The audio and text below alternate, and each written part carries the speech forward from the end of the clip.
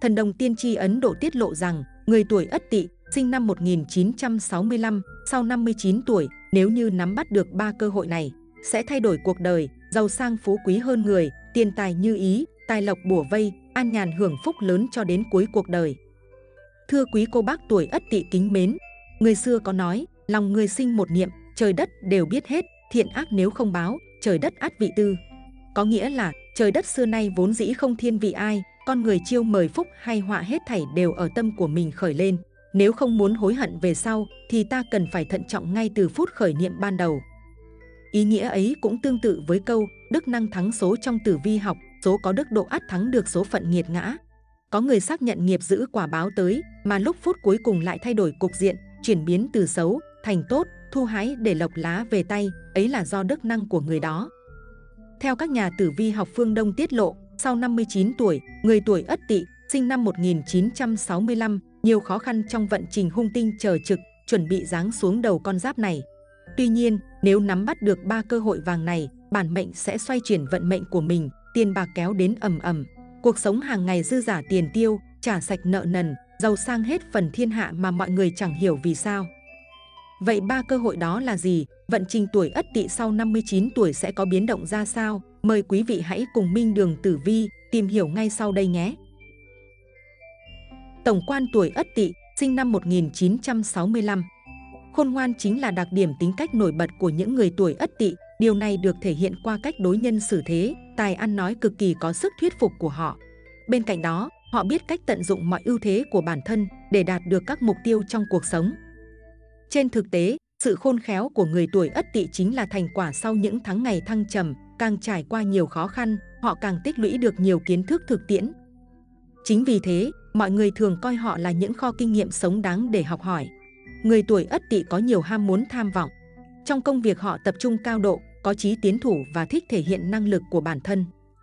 Tuổi Ất Tỵ thích hợp với những công việc lao động trí óc, đòi hỏi sự thông minh và đầu óc, suy luận logic sáng tạo, rắn khôn ngoan và kiên nhẫn, biết cách quan sát và chờ đợi. Vậy nên người tuổi Ất Tỵ rất kín đáo, bình tĩnh, bảo thủ và bí ẩn.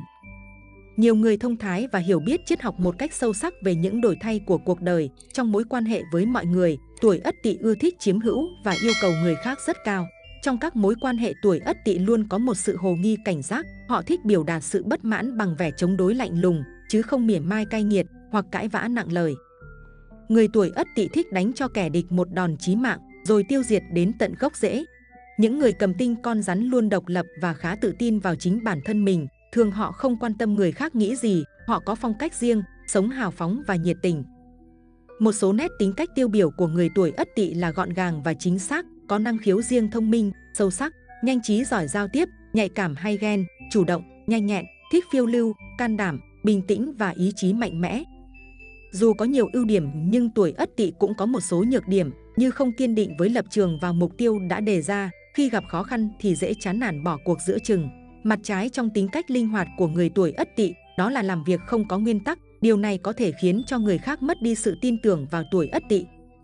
Tuổi Ất Tỵ nhớ lâu thù dai, nên họ có thể nhẫn nhịn rất lâu để chờ cơ hội báo thù. Những người nổi tiếng tuổi Ất Tỵ trên thế giới danh họa Roblox Biscaros, Tổng thống Abraham Lincoln, Tổng bí thư Tập Cận Bình.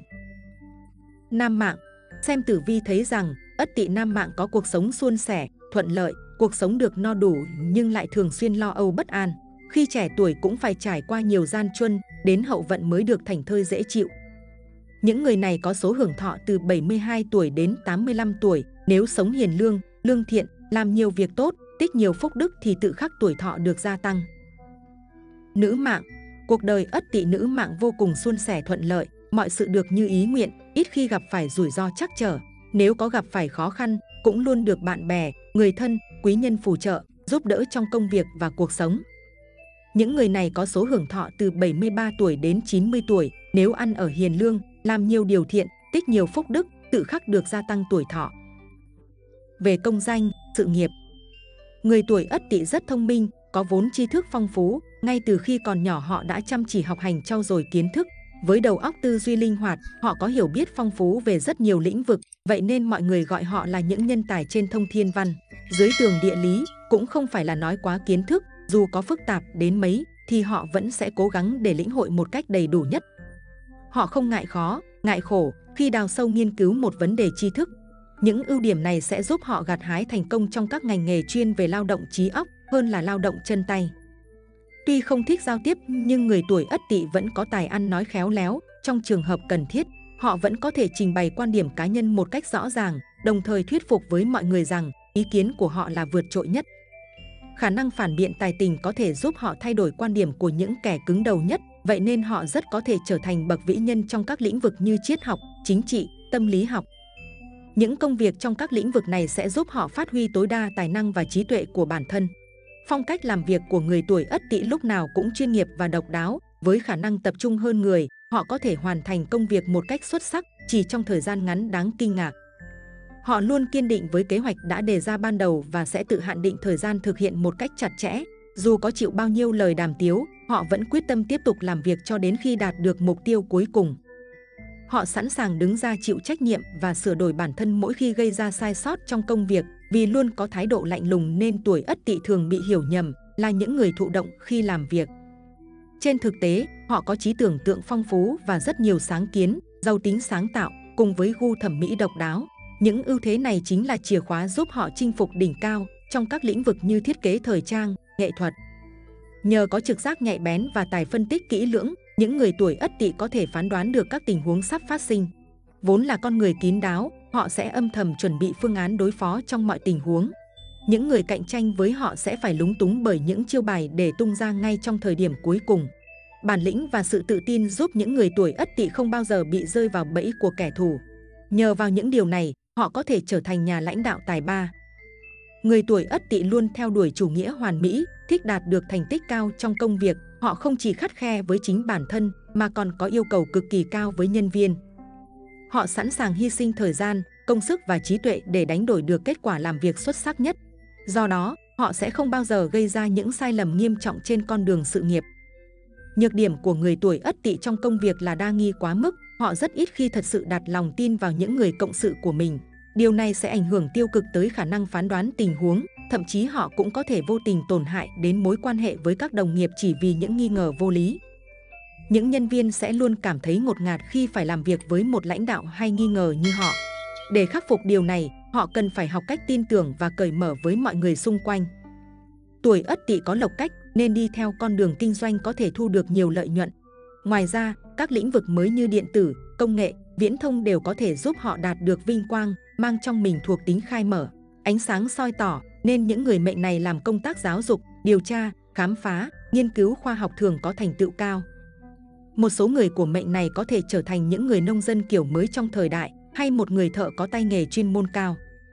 Đối với tiền bạc thì tuổi Ất Tỵ gặp nhiều thuận lợi, Ất Tỵ có tính lan man nên dù kiếm tiền tốt họ vẫn bị hao tốn giúp đỡ cho người thân. Về cơ bản cuộc sống của họ đều khá giả hơn người. Nữ Ất Tỵ có lòng thương người nhân từ và bác ái, do đó họ rất chăm đi làm điều thiện, họ giúp ai thì giúp rất tận tình. Ngoài những đức tính tốt như vậy, thì tính họ lại khá nóng tính, nhưng lại được trời phú cho một trí tuệ thông minh hơn người. Tích cực dù có tiếp cận vấn đề sự việc kém, nhưng họ lại giải quyết vấn đề rất nhanh. Do vậy, những nghề hợp với nữ ất tỵ như giáo viên, giáo sư hay thanh tra, thẩm phán. Nam ất tỵ nóng tính nhưng lại có ý nghĩ tích cực, có nhiều sáng kiến nên họ chính là một hình mẫu mà ai chơi với họ cũng rút được nhiều bài học và kinh nghiệm. Có điều, họ hay cậy tài và rất cao ngạo ngông cuồng. Do đó, với những tuổi này thì họ thích hợp làm kinh doanh, làm người nông dân mát tay, làm người công nhân kỹ sư có tay nghề cao. Nam mạng tuổi hợp làm ăn Trong công việc ất tỵ nam mạng nên lựa chọn các tuổi hợp với mình. Về đường công danh, tài lộc là đinh mùi, ất tỵ và quý sửu. Những tuổi này sẽ giúp cho người tuổi ất tỵ được suôn sẻ, thuận lợi, ít gặp khó khăn, trở ngại thu về nhiều tài lộc. Tuổi đại kỵ Mậu thân, giáp dần, canh thân và nhâm dần là những tuổi xung khắc với ất tỵ nam mạng. Bạn không nên kết duyên hay cộng tác làm ăn với những tuổi này, sẽ tránh được những khó khăn bất lợi. Nếu chót lỡ yêu thương nhau rồi mới biết phạm tuổi đại kỵ và vẫn muốn tiến tới hôn nhân, thì hai người không được tổ chức cưới linh đình, mà chỉ được làm mâm cơm cúng gia tộc tổ tiên để được chứng giám sẽ có cơ may chung sống đến trọn đời.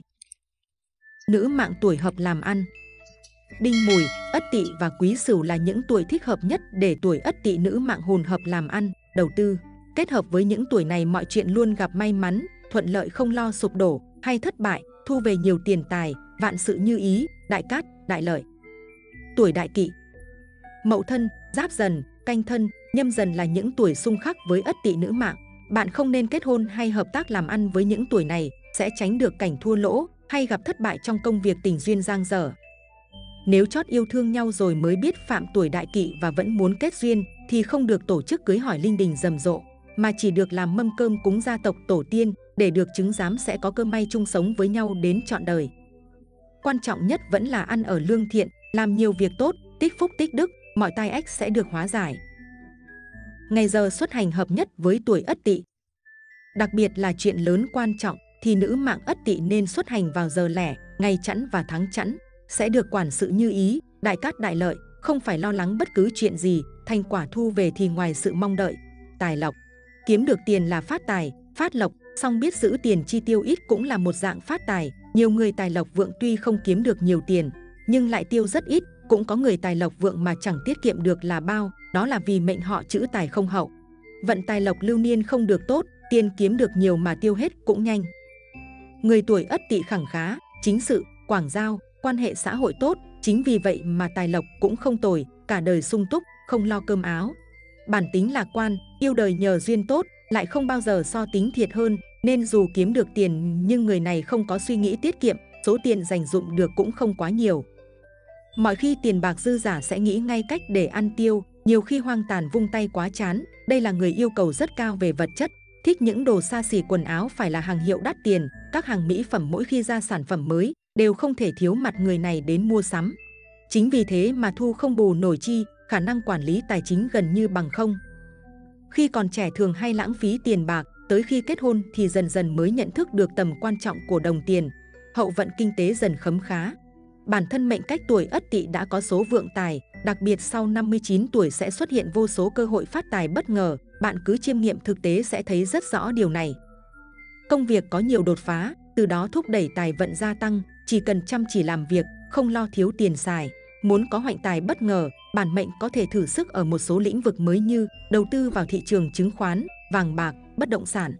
Có điều, trước khi làm bất cứ việc gì, hãy nghiên cứu kỹ càng thị trường và kiểm soát cảm xúc thật tốt, có như thế mới tránh được thiệt hại về tiền của.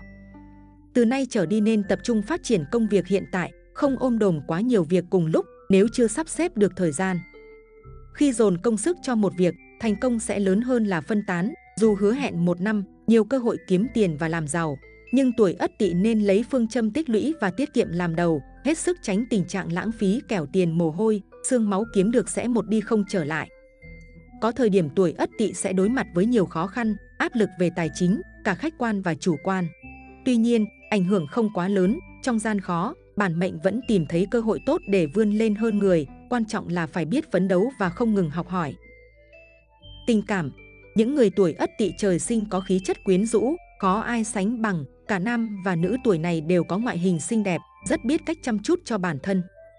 Đôi lúc họ quá xa đà vào việc làm đẹp, khiến cho bản thân trở nên quá mức vô trương và lòe loẹt.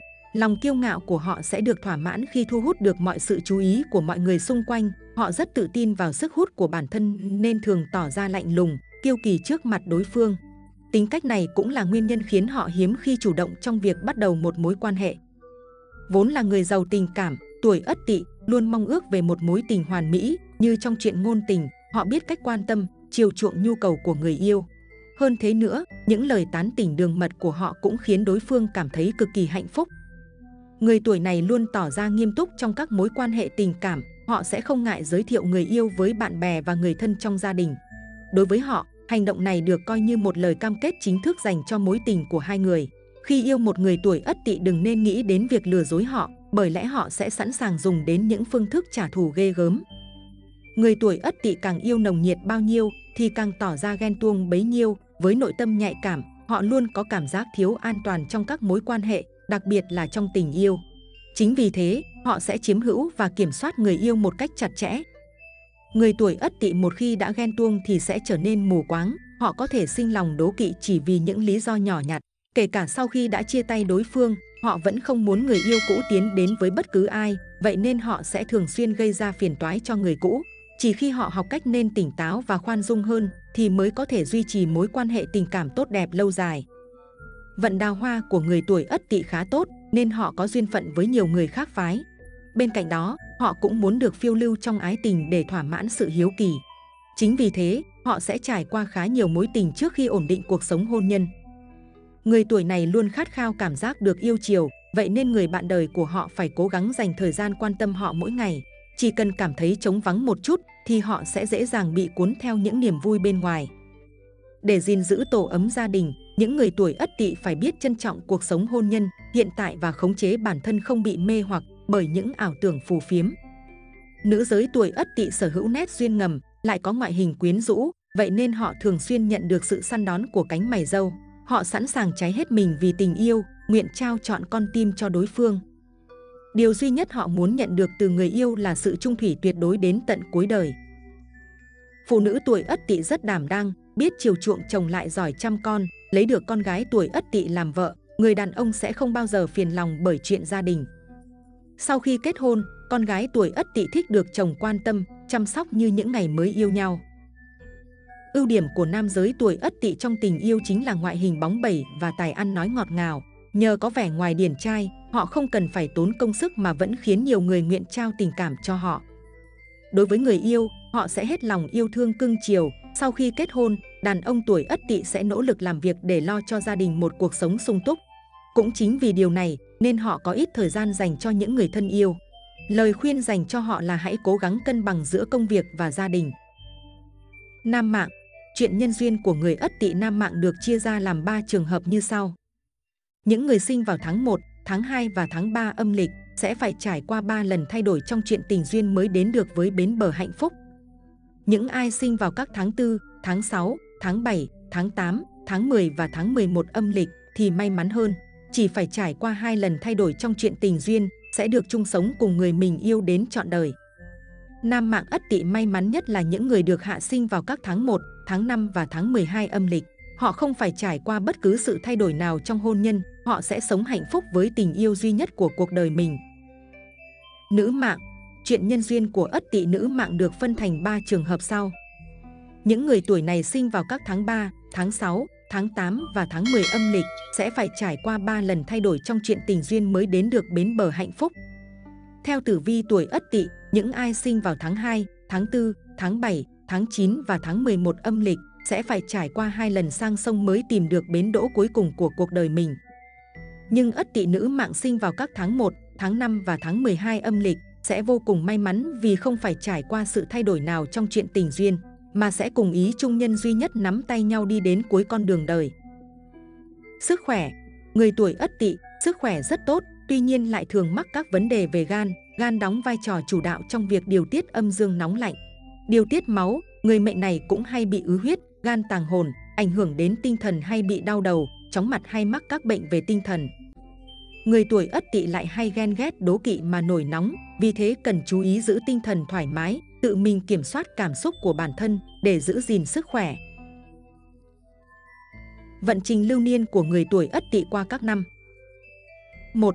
Tuổi ất tỵ gặp năm tý Xem vận trình lưu niên của người tuổi ất tỵ thấy rằng năm tý người tuổi ất tỵ có hỷ sự lâm môn, năm này thích hợp để phát triển tình cảm và kết hôn, sinh con.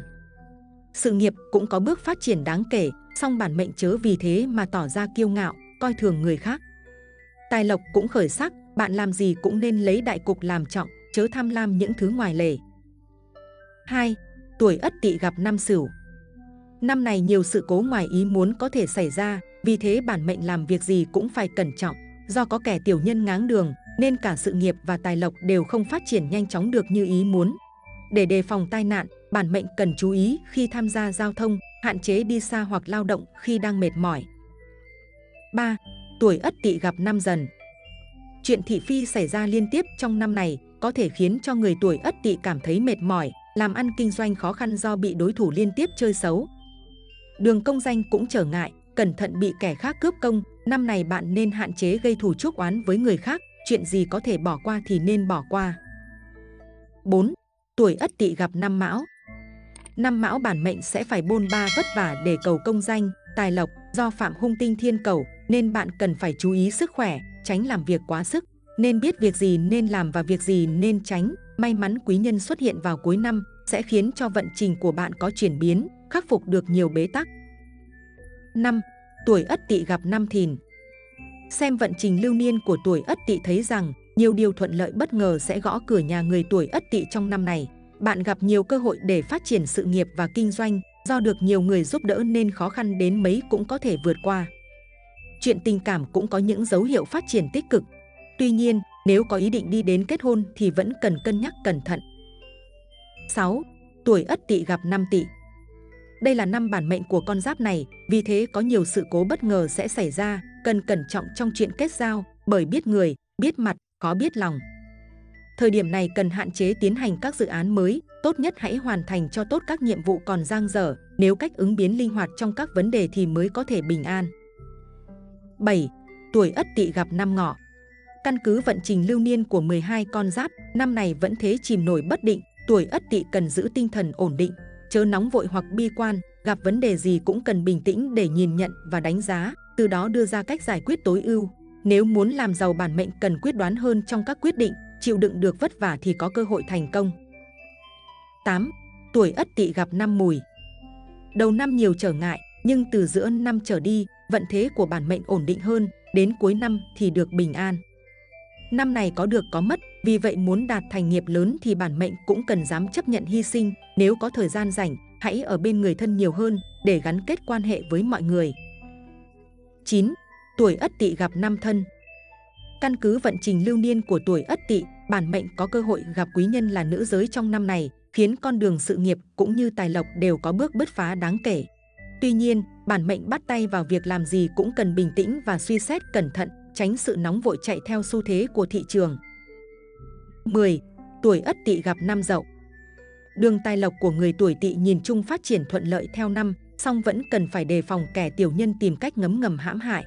Tuy nhiên, dù túi tiền có dư giả đến đâu, bản mệnh cũng chớ nên chi tiêu lãng phí, bạn cũng chỉ nên cho những người đáng tin cậy vay mượn tiền của mình, hạn chế hợp tác với người quen. 11. Tuổi Ất Tỵ gặp năm Tuất. Cát tinh sẽ đem tới cơ hội cho bản mệnh trong năm này, nếu chủ động nắm bắt thì có thể gặt hái được thành quả hơn người. Người xa quê làm ăn cũng gặp nhiều may mắn và nên chú ý xây dựng các mối quan hệ xã giao rộng rãi, ắt có lợi sau này. Tuy nhiên, bản mệnh dễ mắc bệnh nhẹ dẫn đến hao tài, song hãy nhớ tiền bạc là vật ngoài thân, quan trọng là bạn phải giữ gìn sức khỏe của mình. 12. Tuổi Ất Tỵ gặp năm Hợi. Dù con đường công danh tài lộc có hanh thông đến mấy, bản mệnh cũng chớ nên tham lam quá mức, nếu thấy đủ thì nên dừng lại đúng lúc, như vậy mới có thể được tận hưởng hạnh phúc. Còn nếu làm việc bất chấp thủ đoạn, bạn sẽ vướng phải vòng lao lý, gây ảnh hưởng đến danh tiếng của mình. Vận mệnh tuổi Ất Tỵ với tháng sinh âm lịch. Người tuổi Ất Tỵ sinh vào tháng riêng âm lịch. Người tuổi Ất Tỵ sinh vào tiết lập xuân thường có vận tốt nhưng phải bôn ba khắp nơi, ít được thành thơi. Người tuổi Ất Tỵ sinh vào tháng 2. Người sinh vào tháng này thường được hưởng phúc khi về già, cuộc đời thăng trầm. Người tuổi Ất Tỵ sinh tháng 3. Là người thông minh, sôi nổi ưa hoạt động số may mắn, tay trắng lập nên nghiệp lớn. Người tuổi Ất Tỵ sinh tháng 4. Là người hào hoa, phong nhã, oai phong lẫm liệt, có ý chí nhưng thiếu quyết đoán, số may mắn phú quý có vợ hiền, con cháu hiển vinh, tâm hồn luôn được thành thơi vui vẻ, đây là người có thể làm được mọi việc, nhưng nhất thiết phải có tầm bao quát. Người tuổi Ất Tỵ, sinh tháng 5. Sự nghiệp kinh doanh thuận lợi, đời sống vật chất dư giả, cuối đời gặp nhiều may mắn là người cung kính lễ phép, được mọi người quý trọng. Người tuổi Ất Tỵ, sinh tháng 6. Là người phong thái tôn nghiêm, có tài quản lý, số có gia thế hưng vượng, mọi việc thành công như ý, vợ hiền đẹp, đảm đang, con gái vinh hoa. Người tuổi Ất Tỵ, sinh tháng 7 sinh vào lập thu tuyệt đẹp khí tốt, là người có chí khí lớn, đáng tin cậy, dễ lập nên nghiệp lớn, nếu là nữ giới sẽ rất thông minh quyền thế hiền hách ung dung tự tại. Người tuổi Ất Tỵ, sinh tháng 8. Bản tính thông minh, ứng biến linh hoạt, trung thành nghĩa hiệp, số phận may mắn luôn vượt qua được gian khó, sự nghiệp dễ thành. Người tuổi Ất Tỵ, sinh tháng 9.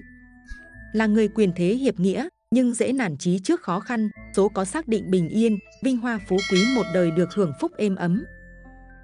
Người tuổi Ất Tỵ, sinh tháng 10. Sinh vào tiết lập đông dịu mát, số thanh cao trường thọ no đủ một đời thuận lợi, tuy có lúc gặp hiểm nguy nhưng nếu biết kiên trì vượt khó thì mọi việc đều tốt đẹp. Người tuổi Ất Tỵ, sinh tháng 11. Số ít may mắn, cuộc sống thiếu thốn hay gặp thất bại, không được trợ giúp, khó làm ăn kinh doanh, nếu làm chủ được mình. Kiên cường vượt qua gian khó cũng nghe nghiệp lớn, là người bảo thủ nhưng khiêm nhường, có chí nhưng không gặp thời, hay âu lo phiền muộn. Người tuổi Ất Tỵ, sinh tháng 12. Số nghèo khó khác cha mẹ, anh chị em nên cẩn trọng khi kết giao bạn bè. Thông điệp may mắn dành riêng cho tuổi Ất Tỵ sau 59 tuổi. Người biết buông bỏ là người chiến thắng trong cuộc đời này, chỉ khi một người có lòng bao dung hết thảy và biết buông bỏ những gì không đáng có, thì mới có thể dung nạp vạn vật và thành tựu sự nghiệp, không cần phải trở thành vĩ nhân, nhưng nắm giữ bí quyết này, bạn sẽ luôn hạnh phúc trọn vẹn. 1. Buông bỏ áp lực Kỳ thực, đối với mỗi người mà nói, mệt hay không mệt đều là do tâm thái của chính bản thân mình quyết định. Mỗi ngày chúng ta đều phải trải qua vô vàn sự việc vui vẻ có, buồn thương có, tất cả chúng đều xuất hiện thường xuyên với mỗi người. Một khi trong lòng chất chứa quá nhiều thì sẽ trở nên hỗn độn, không có trật tự. Vì thế mà tâm hồn cũng loạn theo, khi ấy đem chút thống khổ vô vị ấy bỏ xuống thì trong tâm tất có chỗ cho niềm vui và khoái hoạt lấp đầy. Mãi trói buộc trong những điều phiền muộn mà quên mất lý trí để vui sống, đó chính là nguyên nhân khiến bạn luôn cảm thấy u buồn. 2. Buông bỏ phiền não Hạnh phúc khoái hòa kỳ thực rất đơn giản, nó không ở quá xa so với những gì bạn tưởng tượng, học được cách bình tĩnh tiếp nhận sự thật, học được cách thuận theo tự nhiên, học cách thản nhiên đối mặt với những điều không may mắn, học cách tích cực đối đãi với nhân sinh, học cách nhìn vào điểm tốt trong hết thảy mọi việc. Như vậy ánh mặt trời ấm áp sẽ tràn ngập trong lòng bạn, xua đi nỗi sợ hãi những đen tối và những nỗi lo lắng phiền muộn. Khoái hoạt hạnh phúc kỳ thực rất đơn giản, đừng để bản thân mình chìm đắm vào những nỗi niềm không vui thì bạn đã hạnh phúc rồi. 3. Buông bỏ tâm lý tự ti Không phải ai cũng đều có thể trở thành vĩ nhân, nhưng mỗi người đều có thể trở thành người có nội tâm mạnh mẽ, tin tưởng vào bản thân mình, tìm đúng vị trí của mình, thì bạn đã trở thành một người có được giá trị nhân sinh rồi. 4. Buông bỏ tâm lười biếng Không cần phải luôn nhìn vào cuộc sống của người khác để rồi ngưỡng mộ, bởi vì bạn hoàn toàn có thể đạt được những điều ấy khi buông bỏ tâm lười biếng, cố gắng tận tâm là có thể cải biến được vận mệnh của mình. Có thể luyện một động tác đơn giản để xuất thần nhập hóa thì bạn đã có tuyệt chiêu của mình. Còn nếu có thể là một việc nhỏ bình thường đến mức thuần thục thì bạn đã là người có kỹ xảo. Luôn nhắc nhở bản thân là một người tiến bộ, vui vẻ, hạnh phúc và lương thiện thì bạn nhất định sẽ có một tương lai tươi sáng. 5. Buông bỏ suy nghĩ tiêu cực, tuyệt vọng. Chỉ cần nguyện ý, bạn hoàn toàn có thể trở thành một người tốt nhất trong cuộc đời này. Không ai có thể chi phối được thắng thua trừ chính bản thân bạn. Thái độ sống của bạn như thế nào sẽ quyết định vận mệnh của bạn như thế ấy. Nếu luôn mang trong lòng những suy nghĩ tiêu cực và nỗi tuyệt vọng, thì sẽ chỉ khiến bạn chìm đắm vào đó mà không nhìn thấy ánh sáng của tương lai mà thôi. 6. Buông bỏ tâm oán giận Người ta nói rằng tất cả những thất bại trong cuộc đời mỗi người đều là chuẩn bị cho thành công, oán giận cùng với nản lòng chỉ có thể làm vật cản trở trên bước đường tiến đến thành công của bạn. Buông bỏ oán giận mang tâm bình thản mà tiếp nhận thất bại, đấy chính là tâm thái của các bậc trí giả. Oán giận không thể thay đổi được hiện trạng, thuận theo tự nhiên mà cố gắng mới có thể mang đến hy vọng. Mỗi chúng ta đều có điểm mạnh của mình, chỉ cần bạn không để bản thân mình bị mai một thì nhất định sẽ tỏa sáng trong tương lai. 7. Buông bỏ tâm hẹp hòi ích kỷ một khi có tấm lòng rộng mở, khoan dung thì trời và đất cũng sẽ rộng lòng khoan dung với bạn. Khoan dung là một mỹ đức, khoan dung tha thứ cho người khác, thực ra cũng là đang trải đường cho bản thân mình.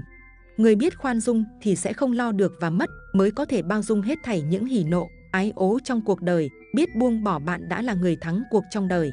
Buông là một loại giải thoát, một loại ngộ đạo, buông là một loại lựa chọn của tâm thái, là trí tuệ của cuộc sống. Học được cách buông bỏ thì những áp lực phiền não, người đối địch thống khổ đều sẽ giảm đi rất nhiều.